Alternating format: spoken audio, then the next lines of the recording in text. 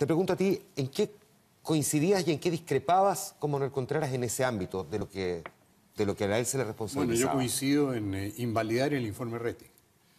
Voy a dar una cifra nada más. El informe Rettig a las personas que la extrema izquierda mató, las llamaba víctimas de la violencia política. No decía que habían sido víctimas de la guerrilla de extrema izquierda, comunista, socialista, mir. No lo dijo nunca. Y dijo que esas víctimas eran 170 y tantas.